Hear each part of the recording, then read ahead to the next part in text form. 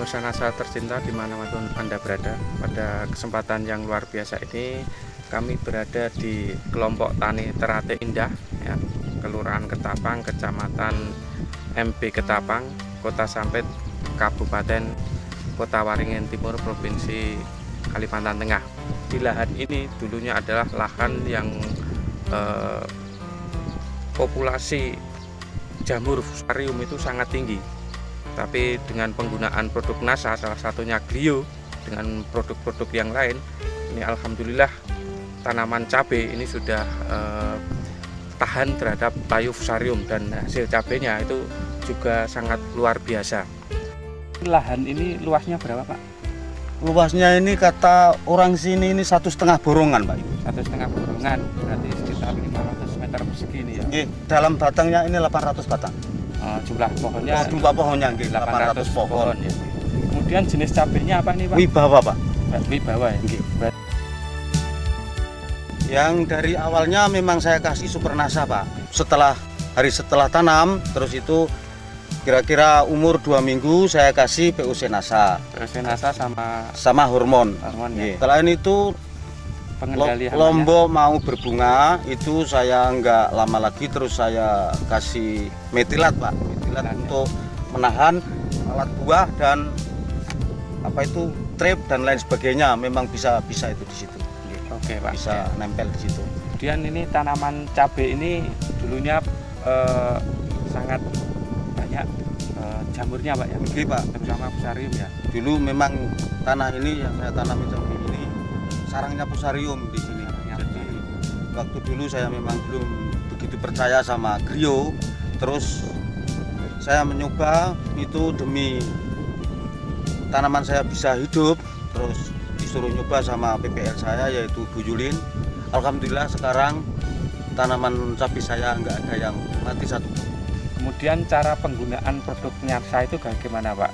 Cara penggunaannya super nasa itu saya kocorkan, Pak. Saya kocorkan jadi satu ember kira-kira 10 liter itu saya kasih satu sendok aja. Satu sendok. Kemudian per pohon dikasih Per pohon ada canting, Pak di situ. Satu canting itu dua pohon. satu canting dua pohon. Nggih. Kurang setengah, Pak. Setengah. Setengah, liter Setengah itu. liter. Setengah liter. Jadi satu pohon itu seperempat liter aja. Nah, ya. Nggih. Seperempat Jadi liter. lebih ringan, Pak. Nggih, Iya. lebih ringan. Nggih. Oke. Kemudian PUC NASA dosisnya berapa Pak? POC nasa itu Sama hormon. POC NASA itu Pak, kalau apa tangki tangki saya itu cuma 10 liter, Hmm. tak kasih dua tutup aja. Dua tutup. Nggih. Hormonnya Hormonnya tak kasih satu tutup. satu tutup ya. Nggih. Itu disemprotkan berapa? Disemprotkan Pak, disemprotkan Berapa- setiap empat hari sekali Pak. empat hari sekali ya. Nggih. Selama empat minggu, terus lepas itu satu minggu sekali sampai Satu sekarang ini satu. Glionya itu memang saya aduk dengan tai ayam itu kira-kira ya 25 sampai 30 kilo satu bungkus. Itu saya aduk mateng-mateng terus itu saya simpan. Waktu itu memang memang luar biasa, Pak. Ada ada tujuh bulanan saya nyimpan itu.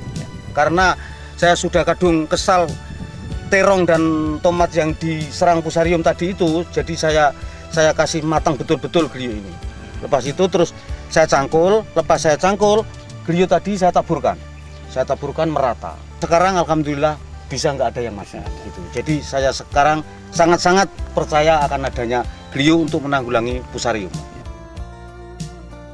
Memang nyaman sekali Pak, karena waktu dulu saya istilahnya saya harapkan lombok saya ini 3 on 3 on per kilo karena tanahnya ini sudah sudah dikatakan tanah sarang pusarium Ya. ya ternyata sekarang sekarang saya melihat ini insya Allah di 5 on sampai 8 on 8 ton per pohon. Per pohon. Per pohon. per pohon. ya kalau insya Allah nanti dapat 8 on insya Allah sudah banyak Pak hasil Kemudian dari pertumbuhan tanamannya bagaimana Pak?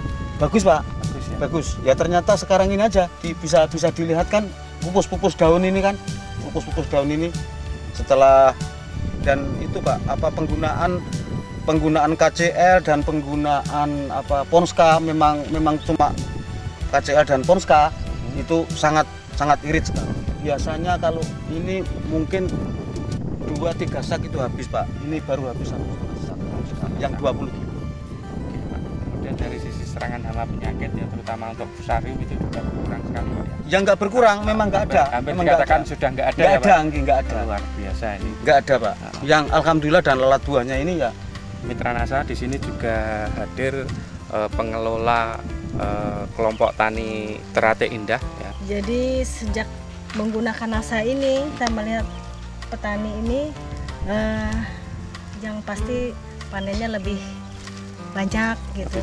Nah, terus tanamannya sehat-sehat, hama dan penyakitnya pun bisa ditekan sekecil mungkin gitu. Memang bagus sekali untuk NASA. Untuk tanaman cabai, terong dan jagung juga Pak. Iya. Dan tanaman lainnya juga. Untuk tanaman hias juga bagus juga. Gimana Pak sejarahnya mengenalkan beliau dengan Pak kelompok tani Terate Indah ini Pak? Jadi kalau kita melihat dari sejarahnya awal ya eh, bahwa eh, memang ya untuk tanaman tomat ya. Tomat itu pertama kali tomat dari sejarah lahan di sini itu terserang layu fusarium ya. Plak, tuh habis. Terus kemudian terong juga begitu. Nah memang untuk pertama kali itu diuji cobakan ya barangkali ya namanya glio barang asing di sini ya. Eh, itu eh, perlu penyesuaian itu pertama. Terus yang ke keduanya barangkali eh, pengaruh daripada eh, tingginya eh, bedengan ini ya yang kurang tinggi sehingga ini kurang eh, begitu mampu ya untuk berkembang biak terutama itu eh, spora-sporanya. Nah jadi eh, itulah yang membuat anu eh, apa kelemahan bagi diri saya sendiri terutama ya. Nah syukur alhamdulillah eh, tahap demi tahap eh, dari berangkat dari permasalahan itu yang berujung pada pengalaman eh, pada diri saya akhirnya saya modifikasi eh, untuk meninggikan eh, baluran pertama terus yang keduanya eh, untuk pemakaian glionya jika masih itu terserang terus jadi setiap dua minggu sekali memang harus diberi glio Oke, terima kasih Pak Warno ya. Iya. Demikian Mitra NASA ya. Bincang-bincang kita dengan Pak Warno juga dengan eh, pemandu SLPHD di Kota Sampit ya. Eh, memang sudah terbukti sangat luar biasa terutama di sini tadinya lahan yang sangat sangat banyak fusarium tapi setelah diterapi terutama dengan bio dan produk NASA yang lain alhamdulillah ini fusariumnya hampir dikatakan sudah tidak ada ya reporter Agus dan kameramen Sahrial Reza melaporkan dari Kota Sampit, Waringin Timur, Kalimantan Tengah. Salam NASA. NASA memang oke.